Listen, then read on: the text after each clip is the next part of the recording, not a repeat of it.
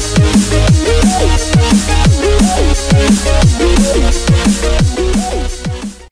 Hello students कैसे हैं आप सभी? लीजिए फिर से आ गई हूँ एक बार आप लोगों से मैं बात करने के लिए। मेरे बहुत सारे स्टूडेंट्स ने मुझे इतने अच्छे मेरे वीडियोस पे रिस्पॉन्स दिए, उसके लिए आप लोगों का बहुत बहुत थैंक यू है। लेकिन बहुत सारे स्टूडेंट्स ने मुझे बहुत बार क्वेश्चन किया है कि, मैडम प्लीज़ आप हमें बताइए कि हमें शॉर्ट नोट्स कैसे बनाने हैं? क्योंकि हम बार बार एनसीआरटी और हम बार बार नोट्स इनके बारे में डिस्कस करते रहते हैं। तो आज इस वीडियो के अंदर हम डिस्कस करने वाले हैं कि आपको आपके शॉर्ट नोट्स कैसे बनाने हैं।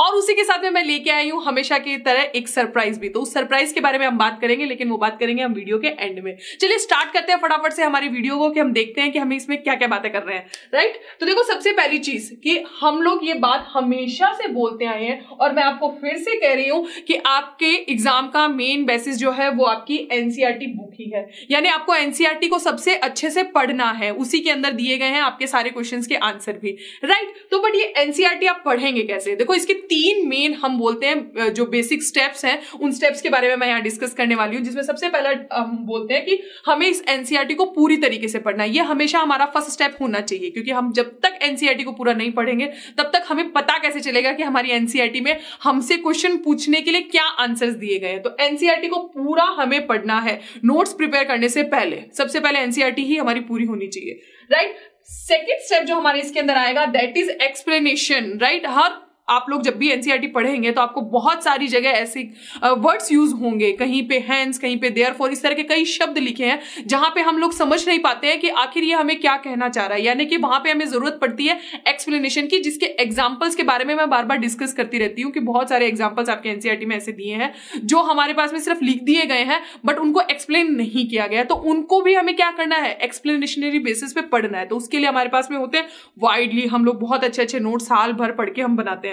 तो राइट तो हमें उनकी एक्सप्लेनेशन होनी चाहिए। अब एक्सप्लेनेशन जब हम उसकी लिखेंगे तो ये आपको ध्यान रखना है कि वो पर्टिकुलर सेलेक्टिव वर्ड्स ही हैं, जो हमें उसमें एक्सप्लेन नहीं है, सीधा लिख दिया गया है। जैसे कि अगर फ़र्ज़ करिए, अगर उसके अंदर लिख दिया गया है हिमोग्लोबिन तो हिमोग्लोबिन वर्ड क्या है, कैसा है, उसके बारे में पूरी एक्सप्लेनेशन हमारे पास में होनी चाहिए। अब सीधा लिख दिया जाता है कि ट्यूनिका एल्ब्यूजीनिया पर्टिकुलर किसी एक लेयर के बारे में नाम लिख दिया गया है, या उसको लिख दिया गया है that is made up with the connective tissue पर कौन से कनेक्टिव टिश्यू से?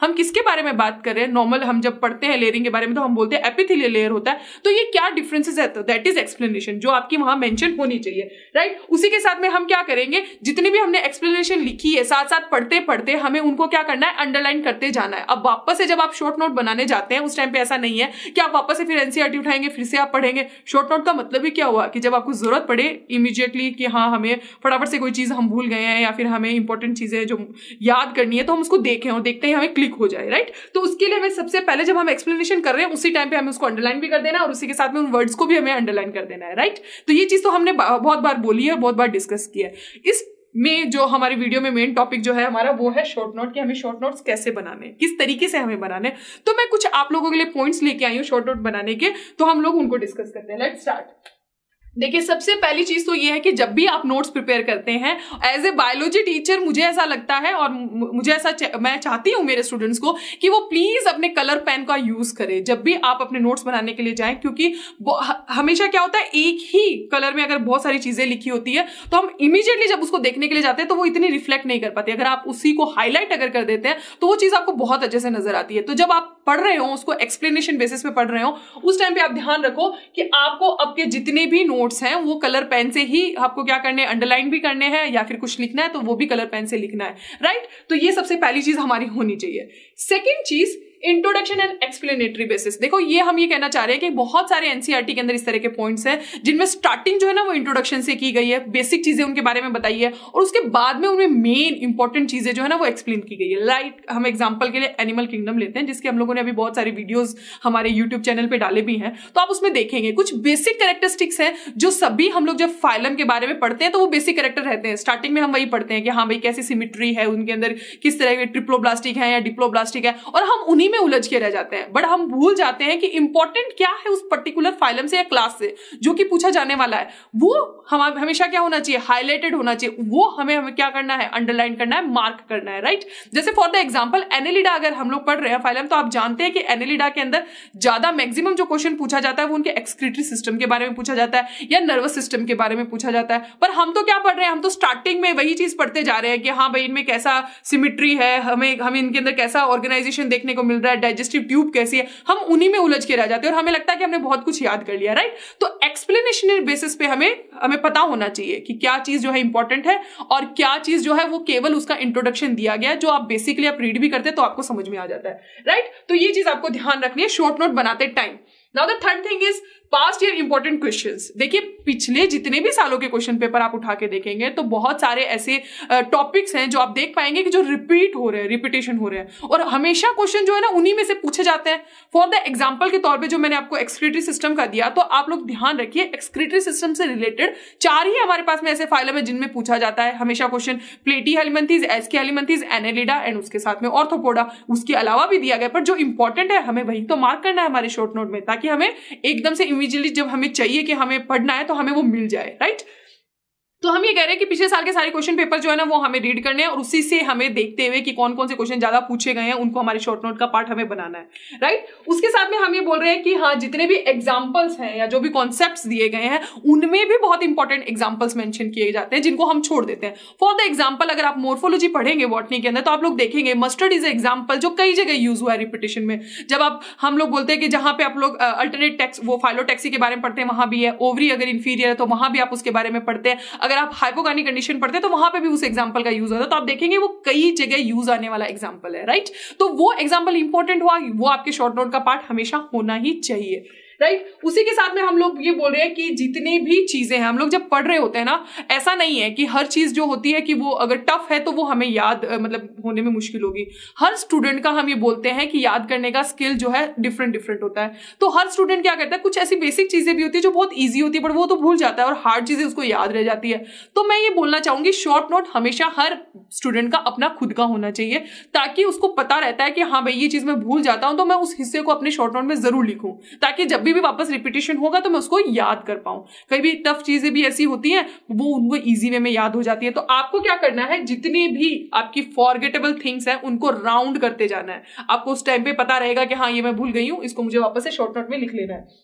Now the next thing is figure labelling function. Figure labelling function का मतलब ये हुआ कि आपके एनसीआरटी के अंदर आप देखेंगे, बहुत सारे डायग्राम्स दिए गए हैं राइट अब हम लोगों ने क्या किया है? उन डायग्राम के अंदर कौन सा ऑर्गन कौन सा फ़ंक्शन परफॉर्म करता है, वो तो हमने एक्सप्लेनेशन में लिखा है।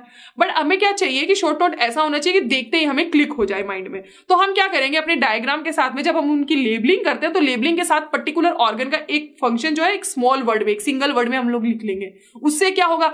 जैसे हमने ऑर्गन का नेम देखा लेबलिंग देखी, वहीं पर उसका फ़ंक्शन देखा तो हमें क्लिक हो जाएगा हमारे माइंड में कि हमने एक्सप्लेनेशन में क्या पढ़ा था।